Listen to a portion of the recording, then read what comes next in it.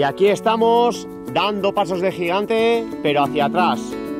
Y si esto no lo remediamos, es posible que el delta del Ebro desaparezca. Y este proyecto va de esto, de promover y divulgar la defensa del delta del Ebro frente al cambio climático. Y si os motiva este proyecto, entrad en la web de Nomen Earth y votad